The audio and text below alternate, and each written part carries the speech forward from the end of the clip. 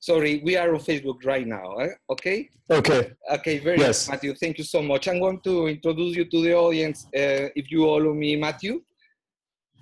Okay. I'm going to introduce you to the audience. Eh, I'm going to speak. Okay. I'm going to speak in Spanish for a while. Buenas, That's okay.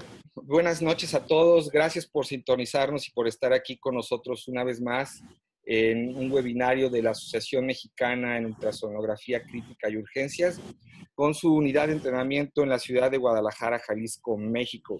Estamos muy contentos de transmitirles y compartirles una conferencia en línea muy interesante. En esta ocasión eh, tenemos al doctor Matthew Captain desde Loma Linda, eh, Los Ángeles, California. Él es médico nefrólogo y justamente, como ustedes saben, el, el doctor Matt pues es un gran entusiasta del ultrasonido point of care y ha incorporado en su práctica clínica el uso del ultrasonido. Eh, como ustedes saben, bueno, cada día más médicos, no necesariamente radiólogos y aún más no necesariamente eh, urgenciólogos, intensivistas, neumólogos, etcétera, están utilizando el ultrasonido point of care, sino también eh, los cardiólogos, los nefrólogos le han encontrado una gran utilidad a esta poderosa herramienta. Y es por eso que estamos muy contentos de, que el doctor Matthew Captain haya aceptado nuestra invitación para compartirles esta conferencia, precisamente sobre el uso del ultrasonido point of care enfocado para nefrólogos, el cómo el nefrólogo puede, incorporando esta herramienta, mejorar su práctica clínica. Así es que bienvenidos sean todos ustedes desde México a todos nuestros amigos que nos están viendo en Facebook Live o aquí mismo en la plataforma, les damos la bienvenida. Eh, ojalá nos puedan decir desde dónde nos están escuchando, desde dónde nos están viendo. Saben, ya, ya saben que pueden hacer ustedes sus comentarios, sus preguntas, los que están en la plataforma. Simplemente en el chat pueden escribir lo que, lo, eh, la pregunta que tengan. Igualmente los que están en Facebook pueden hacer sus preguntas ahí mismo en el chat para tratar de, de contestarlas junto con el doctor Matthew. Así que bienvenidos sean. Vamos a dar la bienvenida al doctor Matthew. Thank you so much, Matthew. Thank you for accepting this invitation. We are honored. Thank you for being part of this webinar. And let's get started with your conference, Matthew. Thank you so much. It's my pleasure. Thank you for having me. So we're going to talk today about how we can use point of care ultrasound in nephrology care in a focused and useful way. What it really helps us with is pre-renal and post-renal. First, we're going to talk about what we do in pre-renal. So the goal here is to optimize intravascular volume. Patients have complications, whether either volume depleted or volume overloaded. We're trying to maximize cardiac output, maximize tissue perfusion, hopefully, in the ICU, and also hopefully write smarter dialysis prescriptions and avoid intradialytic hypotension. So the challenge. There is a need for techniques to differentiate who's most likely to benefit from volume expansion versus vasopressors or maybe inotropes, but not necessarily volume, or volume removal by either diuresis or ultrafiltration. The problem, especially in hospitalized patients, is that there is a mismatch between intravascular volume and extravascular volume, or between the blood pressure and the intravascular volume, because these patients are not in steady state, they're sick. So a lot of the assumptions that we have, we need to throw out the window we need to realize that patients can have a low blood pressure but a high intravascular volume. In cases like cardiac dysfunction, cardiac shock, or when you have vasodilation with distributive shock and then you give them volume again. Similarly, patients can have a very high blood pressure but very low intravascular volume. Very common in Los Angeles County Hospital where I train, stimulants like cocaine and methamphetamines. So you realize that High blood pressure does not necessarily mean salt and volume overload. Low blood pressure does not necessarily mean that you bolus the patient in the ICU. Patients can also have mismatch between the intravascular and the extravascular volume. For example, you can have patients who vasodilate, third space. People who have sepsis or anaphylaxis. You can also have delayed reequilibration. For example, when you start with a volume overloaded patient, say in heart failure or with nephrotic syndrome, and then you diurese them, and they become intravascularly volume depleted. You can also have patients who are intravascularly volume overloaded, but they haven't yet manifested these signs externally. For example, patients who get rapid blood transfusions, especially if they're anuric, or patients who might get rapid infusion of hypertonic sodium bicarbonate. So you have to realize that sometimes physical exam is not necessarily reliable in the way we hope it might be. A lot of the signs either have high sensitivity with low specificity or, low spe or vice versa. So when we're assessing intravascular volume, there are many different kind of places in the circuit of flow through the blood in the body. You can look at things like the venous part, the arteries, the lung circuit in different ways. Traditionally, we've used things like chest x-ray, but there are problems because you might have opacities, a white looking chest x-ray, but there are many reasons, including pneumonia, which might have nothing to do with volume. You have things like lung ultrasound, which tell you a lot of the same information about a chest x-ray and maybe more rapidly and maybe even more accurately. But it's information of a similar type. Now, when you want to look at the volume, the problem though is that the lung, it's kind of a third space as well. If you're overloaded, you might spill into it, but that's not necessarily what that means. When you're looking at the heart, you can look at the cardiac contractility, see how is it squeezing. You can do that through echocardiography. You can also do something like a Swan-Ganz catheter to look at cardiac output through thermodilution or find systemic vascular resistance in the capillaries.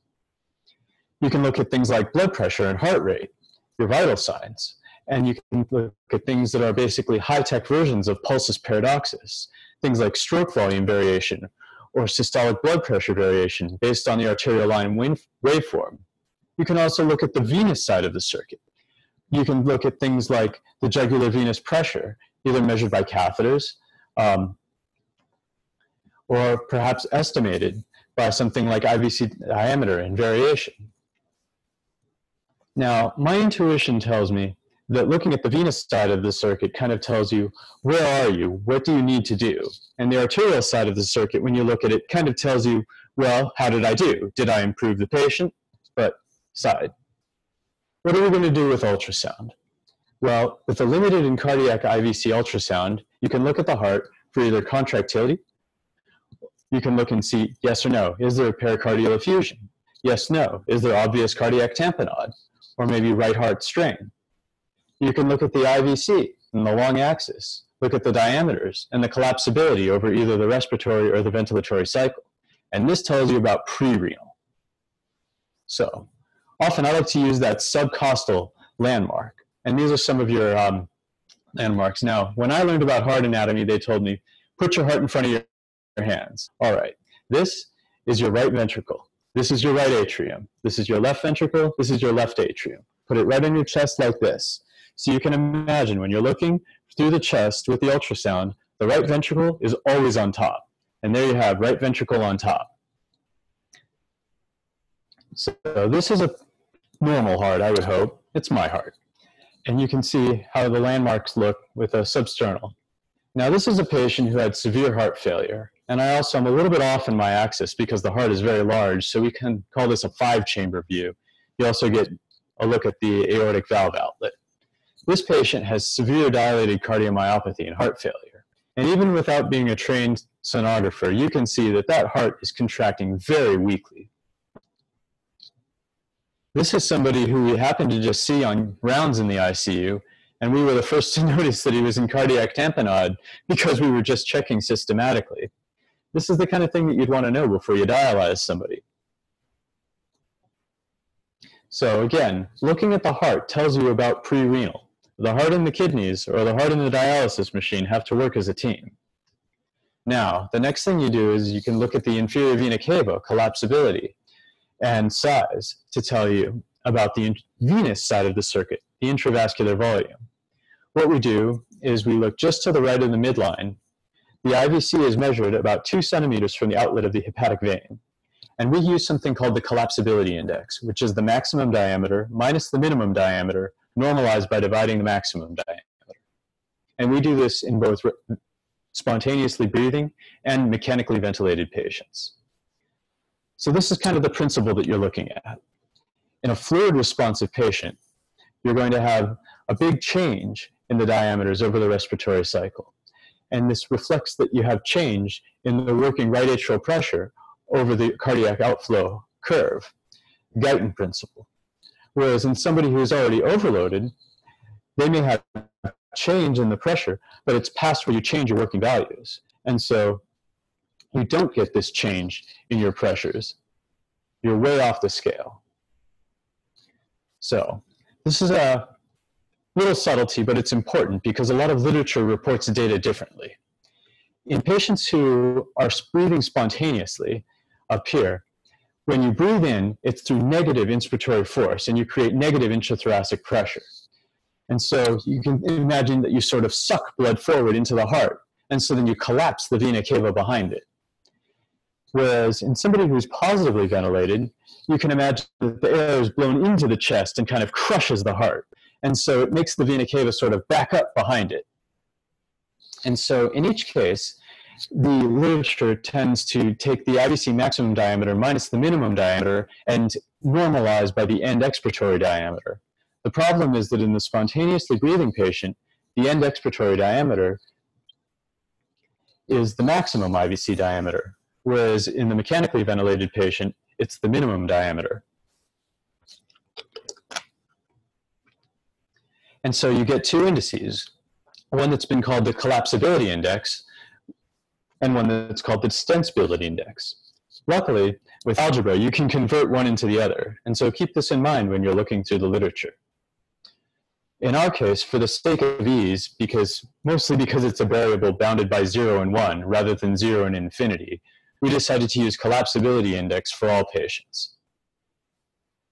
So these are some examples of what an inferior vena cava might look like across a spectrum of different patients. This is an extremely volume overloaded patient. You can see by the tick marks on the side that the diameter is three centimeters or greater, and that's much greater than a sort of cutoff of two or 2.1 centimeters that's often used to say IVC maximum diameter might indicate increased intravascular volume. The other thing to notice is that the hepatic vein here is very dilated. And when you have the dilated hepatic vein, that's sort of one of the maximal signs of volume overload. Just to look at some of the landmarks, this is the inlet of the right atrium. This is the hepatic vein. And this is the inferior vena cava. This is also another hepatic vein. Now, in this picture, this patient is more euvolemic. You can see that the IVC maximum diameter is between one and two centimeters. You can see that there is some, but not too much collapsibility over the respiratory cycle. This patient's pretty euvolemic. And here again, you know that this is an IVC because there's nice thin walls. You can see it go straight into the right atrium. and here you can see another hepatic vein near it. This patient is starting to get a little bit more volume depleted. Here the maximum diameter is still somewhat large, but you can see that it collapses a lot. And again, here now you can appreciate that the hepatic vein is thin and skinny, and that starts to be a sign that you might be more volume depleted as well. And then here's the inlet of the right atrium. Now, this patient might be even more volume depleted because they have an IVC diameter that's small and also collapsing. Some of these patients, they get so small that the IVC hardly opens up at all. You can not even really see the hepatic veins. Sometimes the vena cava is very hard to see at all in a patient like this. But you have to keep in mind, here's the aorta. And so if you can only see one vessel in the chest, chances are you're looking at the aorta rather than the inferior vena cava. Now this brings home the principle that looking at the IVC collapsibility, it's really most useful at the extremes. I'm showing you a little bit of data here from a paper that I have um, just about, it's been accepted for publication in the International Journal of Nephrology and Renovascular Disease, which is open access. Oh, by the way, just about everything that I'm sharing with you today is also in my other article, Focused Ultrasound for Nephrologists, published in the International Journal of Nephrology, which is open access as well. This is a study that we did. It's observational, sort of retrospective at Los Angeles County over the course of a few years where we took all patients on our service that needed renal consults in the ICU. We ultrasounded them as we thought we needed to for clinical purposes, and then a subset of these patients needed to be dialyzed within the next 24 hours. Those were the subjects for our study. And so, what we did is we looked at, well, how much ultrafiltration was actually achieved? Because that's a way to test your predictions, perhaps, about the intravascular volume. And so what you can see here is that there's a very strong correlation of the proportion of success for achieving different degrees of intravascular volume. And each time it's a binary yes no answer. Did you get more than half a liter? Did you take more than a liter? Did you remove more than a liter and a half? Did you remove more than two liters? And of course, successively, as you try to take out more volume, you're going to get a lower chance of succeeding, uh, of getting to that goal within the same data set. But you can see that also this principle holds true, varying the cutoff point. And you can see that these people that have, say, like 0 to 5% collapsibility have very high probabilities of being able to remove the volume, whereas people who had very high degree of collapsibility, or these people were also so collapsed that the IVC was just tiny, like I showed you. These patients had much lower chance of being able to achieve a certain degree of ultrafiltration. But sometimes we thought we had to try because they had ARDS or something like that. And these data points represent, they're weighted against the N. So this is number of patients in a category between 0 to 5%, 5 to 10%, 10 to 15%, and so on. Now, the other thing that we can do is use logistic regression to tell us what is the probability in this population of achieving a given ultrafiltration. And you can do this as a continuous variable across the range of probabilities. It's a very different statistical method, but you can see that these curves can almost be superimposed upon each other. So you slice the data in different ways, and you get a very similar result, even though it's noisy ICU data. So that's pretty encouraging. Now, this is a follow-up study that we did.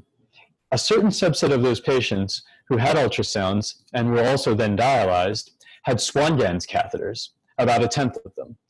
And in those patients, we could look at the cardiac output before and after a dialysis session and also look at how much we removed with dialysis. And we found something that's very interesting. Even though these are very ill patients in the ICU, a certain subset of them actually improved their cardiac output significantly with just the right amount of volume removal, which in these patients seem to be between about you know, one to two liters. Most of this is happening in the subset of patients who have less than 10% collapsibility index, which seemed to be the natural breakpoint in this data set. By the way, for the previous study, it seemed to be about 20% that maximized sensitivity and specificity between differentiating who could or could not remove a given amount of volume. So slightly different breakpoints and slightly different data set. But in this overloaded patient, you can, in this overloaded population, you see a data that can sort of tell a story. This almost looks like the Starling curve. You can imagine that these patients at point A were volume overloaded, and you remove just the right amount of volume, and you push them up on the Starling curve by unloading them. These patients in D, well, these are patients, we don't have many data points for this, but this idea is validated in other studies, where if you give volume to somebody who's volume depleted, you can raise where they are on the Starling curve and improve their cardiac output.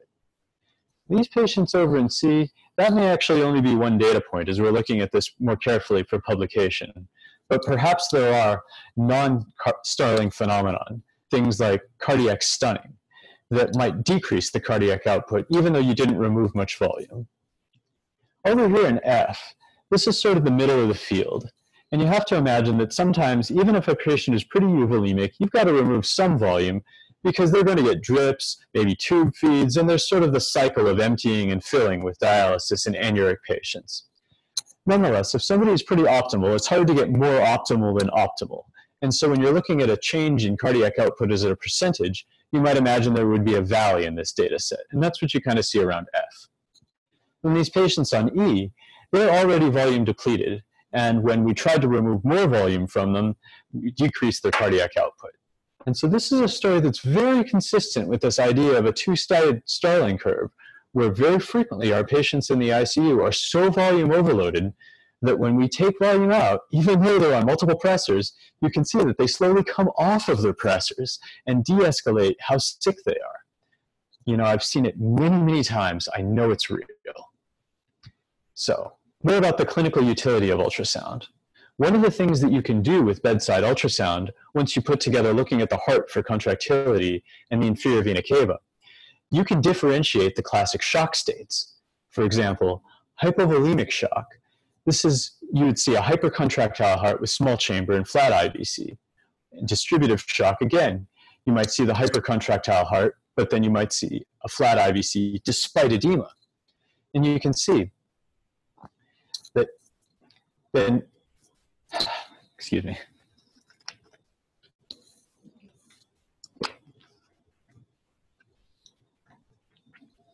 you can see in cardiogenic shock that you might have the dilated hypocontractile heart and the IVC distended because fluid is backed up, or the blood rather.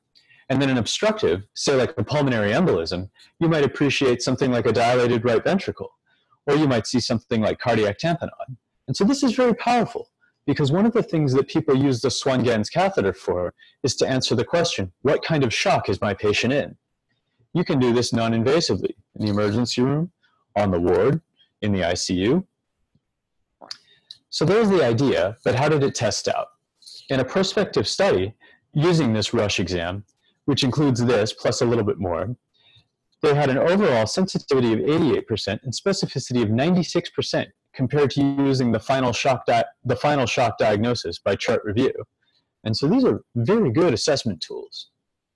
So what do I think is the clinical utility of this? Well, you can eliminate one possibility. You know, if you see that a patient looks, you can say, I know that that patient's not hypovolemic, or I know that that patient's not hypervolemic. You might have findings that are in the middle. Some patients are in the middle. And I'll tell you a secret. If the patient's in the middle, clinically, what are you going to do? Whatever you were going to do anyways, before you decided to check with an ultrasound. You can also differentiate the types of acute renal failure. You can look at things like pre-renal or cardiorenal, because remember, pre-renal is just poor kidney perfusion, and you can do that because of either severe volume depletion or very poor perfusion with volume overload in heart failure. You can also look at post-renal. You can look at things like, is, do you have obstruction, large bladder, hydronephrosis? You can differentiate the types of shock. You can effectively manage hypo and hypernatremia because to manage hypernatremia and hyponatremia, you need to manage the intravascular volume, where all of the sensors are that affect the hormones. They don't see edema space. You might have to manage differently if there's a mismatch between the intravascular and the extravascular volume. Know that in this case, you need to mobilize edema so that you can then take it out with diuretics or ultrafiltration. You can guide ongoing volume management with hemodialysis Many times I've said, that man is volume overloaded, and he is so volume overloaded that I will not be able to do this work in a day. So I know that I'm going to do a daily dialysis, take out a large amount of volume, but I can't do this forever. One of these days, he's going to crash and burn. What I've found is that if you look every day with an ultrasound, it's an earlier warning vital signs changes in the middle of a dialysis session that maybe it's time to back off, slow down. And you can use repeated evaluations to guide any kind of ongoing management. Even if you have a patient who's in septic shock, you can give him a liter or two. Check his vena cava and his heart again. See, you know, see, does he still look volume depleted? You might need to give some more. I remember one time in training, I had a young man in severe sepsis. We gave nine liters of saline in an evening based on that. The next morning, he had mild crackles. He did very well in the end but that's because his volume management was guided to his intravascular euvolemia, not some recipe that says patients on average do things like this. So, but there are conditions that bias IVC ultrasound findings, and you have to be aware of these clinical factors when you're evaluating a patient in context. This is a summary of conditions that might cause you to overestimate the intravascular volume. Something like cardiac tamponade, remember, you might back up the heart so your collapsibility index might be decreased and your maximum is increased. And by the way, if you look at my manuscript, you can find the references where we filled out for this table. Something like severe valvular stenosis, like aortic stenosis, same deal. Massive pulmonary embolism, again, you get this right ventricular strain and larger IVC maximum. Or maybe if you have a right ventricular MI. But the trick for all of these conditions is that they're all preload dependent. And so you might find a patient who has this clinical condition and you see that their IVC is still collapsed and you go, oh my goodness, I know that's real and I know that I need to give that patient volume right away.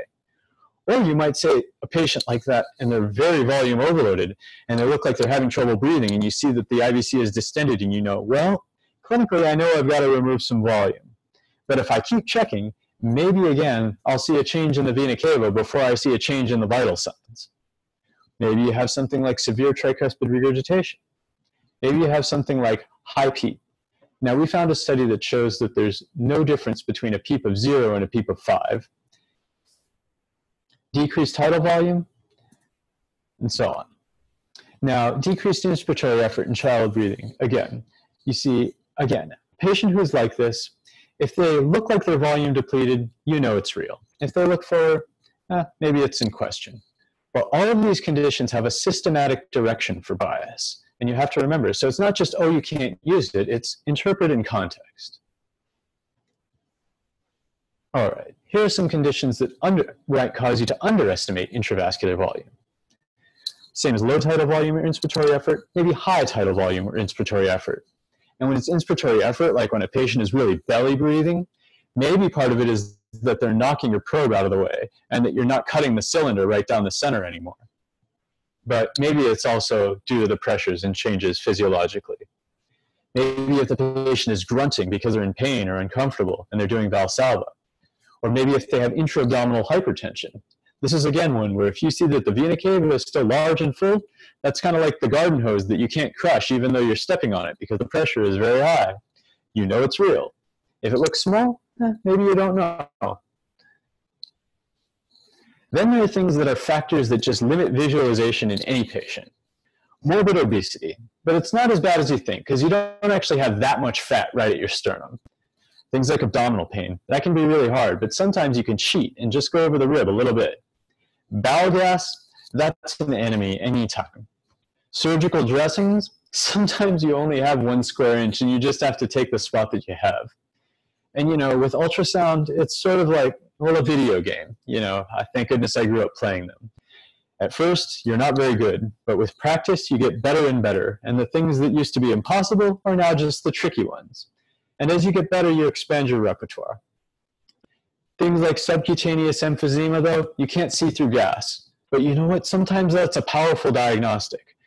I have had more than one morning where I woke up, did an exam like that on somebody in the ICU, said something is not right. They need an abdominal CT, and found something that needed to be found.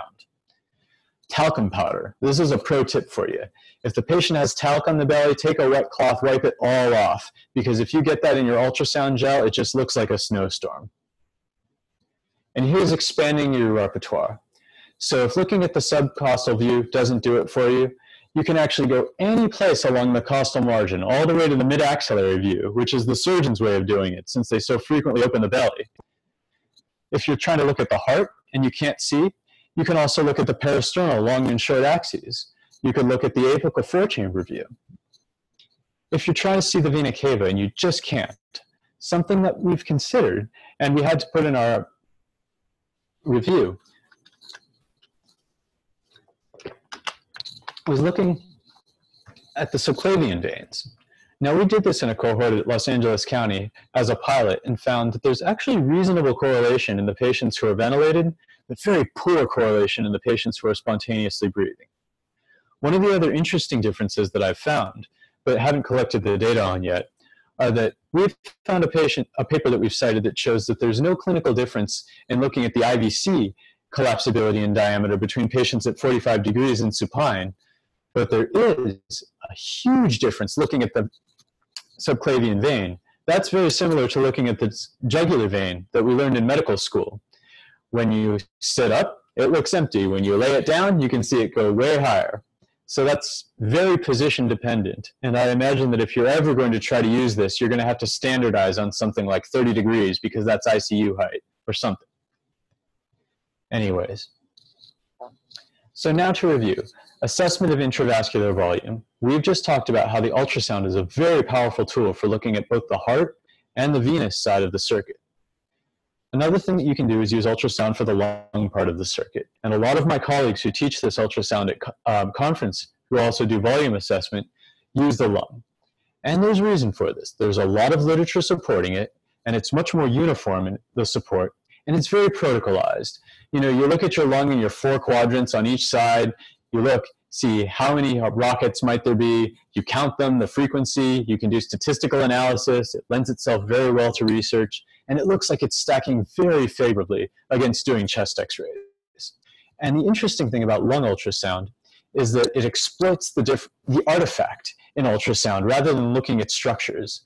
So you can see that you get a certain set of artifacts with normal healthy lung tissue that are reverberation, and they call this A lines. You get a different set of artifact when you have thickened intralobular septa. They look like what they call B lines or comets or rockets. And these, well, you can tell what's a rocket because they call it the comet tail artifact. It's hyperechoic, meaning that it's light. It's well-defined, laser-like. It arises from the pleural surface, which is here, easier to see in video, and it spreads out without fanning or fading. It doesn't get wider at the base and it goes right through those reverberation artifacts, obliterates the A lines. Lung ultrasound, again, looks at the lung part of the circuit, which I think is more like a third space. And a lot of times as nephrologists, we need to know about the intravascular volume. But looking at everything together is always more data, better physical exam. Another thing that we need to do as nephrologists, of course, is look at the bladder and the kidneys, post-renal and renal. So the suprapubic position, it's very important for assessing bladder volume. Many patients with diabetes, even women, have urinary retention because of neurogenic bladders. Many Foleys are placed poorly in the hospital. And as nephrologists looking at AKI, it comes up more often than you'd think. It's important to look for. The kidneys, you don't have to be an expert sonographer. You can start by trying to answer basic yes-no questions like, is there hydronephrosis? Do you see cysts? you know, what is the kidney size? And then that can tell you a lot, like large kidney with many cysts, maybe polycystic kidney disease. Small kidney, few cysts, chronic kidney disease. So looking at the bladder, again, at this position. And what you have to do is take two axes. So first, one up and down, one side to side, rotate 90 degrees, another side to side. You take your three diameters and you multiply them by the magic factor, which is 0.2 if you're going to use the volume of an ellipsoid, or 0.57 if you believe these people who decided to do statistical correlation of estimated bladder volume by ultrasound versus um, catheter residual volumes. So the truth is somewhere in between. 0.52 increases the sensitivity of your exam, perhaps. Anyways, very simple to do. And you can find important things. For example, this is a patient whose Foley catheter was placed outside of the bladder. So jump through the tracks in the urethra. You know, I had to call urology. They tell me we placed it under cystoscopy. I had to tell them, please try again. You know, this patient was in the ICU and his nurse feels terrible about it to this day. But he was agitated and they had him in restraints for agitation. And what happens? We found that his Foley balloon was inflated in his prostate. I have to say that I would be agitated too. This is an example of somebody who has a bladder that's full of blood and the blood is coagulated. So now it's light colored because it's solid. And you can still see the Foley bulb. And then here's the tip of the Foley catheter.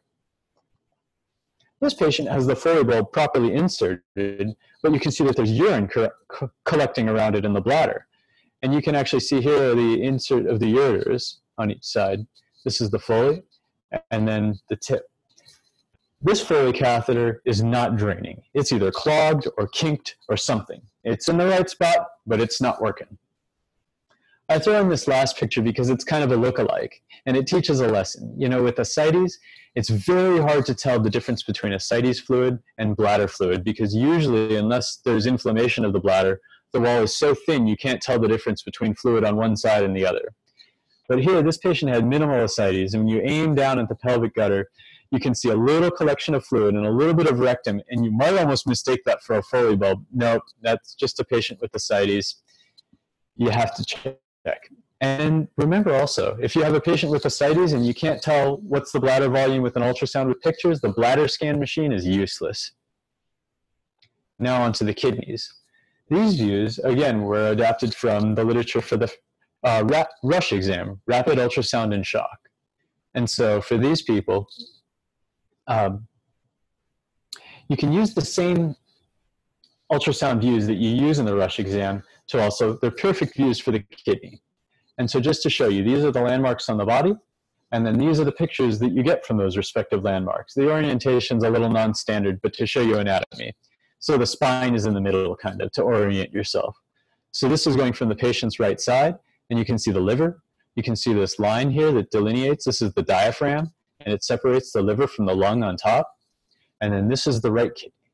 And you can see the difference between the cortex and the medulla. And you can also look at the echogenicity. You can see that this kidney is darker than the liver, which is normal. If the kidney looks lighter than the liver, perhaps tells you about chronicity of disease.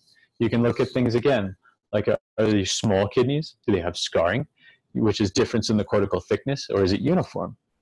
You know, and this can tell you perhaps about chronicity of renal disease. You could also see is there hydronephrosis? And the nice thing about this view is you can do it on a supine patient, even who's intubated, even though it's a little tricky. And remember, you have to get up high in between the ribs. This is the right kidney. The right kidney is a little harder because the spleen is a smaller ultrasound window than the liver, which is a nice big ultrasound window. You often have to go through two different intercostal spaces to see the entire left kidney. So here again, you have the spleen, you have the diaphragm separating the lung, and here's part of the spine. And then here you have the left kidney, and you can see that it's obliterated by this artifact, which is rib shadowing. Remember, ultrasound can't go through bone, so all that gets reflected back, and then what's behind it? Well, it sees less, so it looks dark. Then when you have the kidney, this is the right kidney, you can look at the long and the short axis. And you can also fan, which is rocking with your hand like this, up and down, to look through the length of the kidney in both sides. You can measure the maximum kidney length and you can look for pathology. This is an example of very severe hydronephrosis that we had in a patient in LA County. But in view, you're actually looking from the back. Now, if you have a patient who's ambulatory and you're having trouble seeing the kidney, you can have them sit up and do something like the kidney biopsy view, you might call it. And that's very easy because the kidneys are right up there as long as you go high enough. And you can see the difference between severe hydronephrosis and a normal kidney. More subtle findings, you're always going to be sending this patient to the radiologist for confirmation if you suspect pathology. You know, we're not taking from them. And so anyways, that's a summary of how you can use um, ultrasound in a focused way eh, for nephrologists that I found to be very high yield and useful. Uh, I'd like to take any questions. Thank you. Thank you so much, uh, Matthew. Thank you. It's a very, very nice presentation. Thank you so much. Um, I'm going to speak in Spanish, uh, Matthew. Bueno, eh, eh, no sé si tengan alguna, alguna pregunta. Estamos muy contentos, muy agradecidos con el doctor Matthew. Como ustedes pueden ver, eh, nos ha, explicado realmente de una manera extraordinaria cómo el nefrólogo, utilizando esta poderosa herramienta, puede hacer, eh, puede mejorar su práctica clínica a un lado del paciente. Mismo, el mismo médico eh, que que está tratando al paciente y que está haciendo las intervenciones puede eh, diagnosticar, puede detectar eh, situaciones que requieren una atención inmediata y el doctor Matthew nos ha explicado extraordinariamente. Tenemos al doctor Rogelio Monreal y también tenemos, en un momento, eh, Rogelio, voy a, voy a darte audio. Voy primero a hacer la, la pregunta al doctor que nos hicieron en un principio y lo que nos comentan el doctor Miguel eh, sobre el índice de colapso de vena yugular en el paciente ventilado, si es igual de fidedigna que el, que el índice de colapsabilidad de la vena cava inferior. Es decir, el doctor está preguntando sobre el paciente, me imagino, eh, que está detectando el estado hídrico si es igual de efectiva eh, hacerlo a través de la yugular o a través de la vena cava. Matthew, there is one person is wondering if uh, if the jugular assessment, in order to evaluate the, the volume status or the volume overload of the nephrology patients, uh, do you consider what is the best method? I mean, the, uh, evaluating the jugular is similar to evaluating the, the inferior cava vein, in your opinion, Matthew? Well, it's absolutely the same principle. And what I sometimes tell my students is this is looking at like a high-tech jugular venous distension. But I think that when you look at the central vein, you get a little bit better data. Clinically, I'll tell you some problems that I have with JVD. One of the first ones is that I have ICU patients, and so sometimes they have a catheter in each vein, and there goes your ability to assess JVD. Another possibility might be that frequently, I've even seen where a cardiology attending has come in and looked at a patient who had a white looking chest x ray, who had edema in the legs, and said, Look, I see that's his JVD. He's volume overloaded, kind of walk away. And then I come and do my ultrasound and see that his inferior vena cava is completely collapsed. And I have to wonder did even this cardiologist mistake the jugular vein for the carotid artery? It can happen. Right. So, you know, it's the same principle, but I think that this is a more reliable way of detecting it. Very good. Thank you. Thank you, Matthew. Eh, ah, le voy a dar audio al doctor Rogelio Monreal. Eh, eh, Rogelio, si gustas, puedes hacer tu pregunta en tiempo real. Puedes en este momento hablar. Si me escuchas, Rogelio.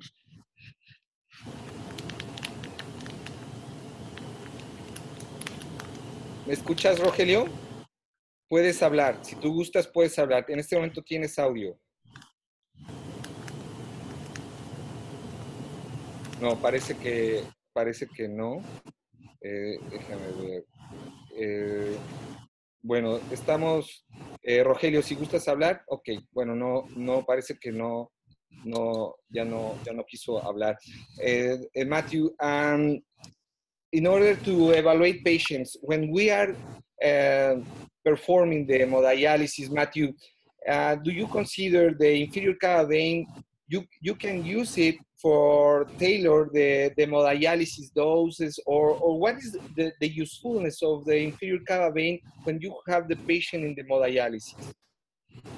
Okay, well, I have to distinguish since I have a paper coming out a little bit between what our data will show and also what I do intuitively. Right. But you know, we have data that show that you can use the inferior vena cava diameter and collapsibility to say what patient will tolerate some degree of ultrafiltration. And now that's what we're able to do with our statistical analysis. But I can tell you that you can get a very good idea when you combine it with something like the patient's vital signs of how much volume can they tolerate. Is this somebody where they're going to be easy to ultrafiltrate because they already have a lot intravascular, especially if the blood pressure is good and they don't need vasopressors? Versus, is this a patient who's edematous and maybe a low blood pressure, and you realize, oh man, getting the volume out of them is going to be much more difficult because they're going to need to reequilibrate constantly. Right. Okay, thank you, Matthew. Well, uh, we have a question from Rogelio Monreal. Eh, él nos pregunta, Rogelio, ¿cuántas líneas B podemos, eh, digamos, que tolerar o se pueden tolerar para calcular el peso seco?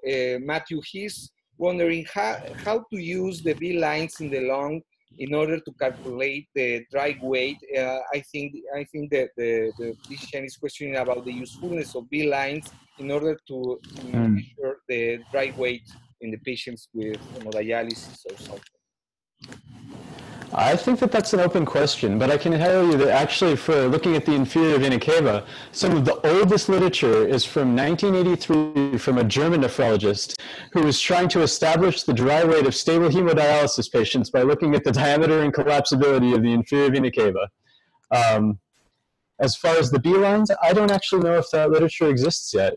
I think that the lungs are interesting because they tell you sort of about spillover. Um, and the lungs might be a little bit easier in an outpatient hemodialysis unit because I can tell you the tricky thing about inferior vena cava diameter is that there's a difference between looking at the patient who's off of dialysis versus once they're on dialysis and you prime the lines with blood and you have a steal from the heart at maybe 300 500 mLs per minute and so remember that that gives systematic bias to a patient who's on dialysis of having a smaller inferior vena cava and maybe larger collapsibility index. So they look more volume depleted than they otherwise would be. But again, remember, you can use that to your advantage. Say you come around on rounds in the ICU and the patient is still, you look, the inferior vena cava is large and there's no collapsibility and they're on dialysis, you say, well, maybe can my nurse extend the treatment by three hours and also increase the ultrafiltration goal? Right. Okay. Very, very well. Thank you so much, Matthew. Um, there are some questions in the in the Facebook, but um, a todos nuestros amigos de Facebook, si eh, quieren hacer alguna pregunta en vivo a través de audio, necesitaríamos, eh, necesitarían meterse a través del enlace para poderles eh, dar audio. De otra manera, pueden hacer su pregunta directamente en el chat de Facebook también. hay un médico que también está haciendo otra pregunta. ¿Existen programas de adiestramiento en ultrasonido certificados para nefrólogos? y existe la posibilidad de realizar alguna certificación en Estados Unidos. Matthew, there are some questions from the same person. The first one is, okay. uh, is there uh, programs uh, of certification or of training specifically directed to nephrologists? Is there some program in maybe in, in, U, in US? This is the, the first questions about the certification and about trainings specifically for nephrologists. And the other question is, is there a chance to, to make some certification in US? Uh, there are two questions from the same person. Okay. Um, it's a little bit tricky. In terms of formal certification, the intensivists who do critical care can do a certification under their license, um, but that involves doing very general ultrasounds as well, like liver and gallbladder, looking for cholecystitis, you know, many things that you don't need as a nephrologist. And that's probably above what anybody's going to do. For a nephrologist in the United States, it's kind of, it's the bar is low and it's kind of easy, but it's limited in a way too. All that Nephrology Society cares about right now in terms of certification is looking at kidneys and bladders. And so you can get certified for doing that, but there's no certification at all for doing volume assessment or things like that using the ultrasound. Ok, ok, thank you, Matthew. Eh, bueno, eh, no sé si existiera alguna otra pregunta, parece que, parece que no, en, en Facebook eh, tampoco. Well, uh, Matthew, uh, what is uh, your recommendation, Matthew, for the nephrologists across Latin America? Because I think there are several, and there are a lot of nephrologists uh, currently interest, interested in, in this, uh, in, as, as you can see, in learning this uh, powerful tool. What, what is your recommendation for all of them, for all nephrologists across Latin America, Matthew? I tell you what, shortly after this, I'll upload a list of kind of links that I know of different conferences that they do have. What I recommend that you do in general, though, is take one person from the practice that is going to be the most enthusiastic about learning, send them to get trained, and then let them come back and teach everyone else in the group how to do it. Because you need to have somebody to master it.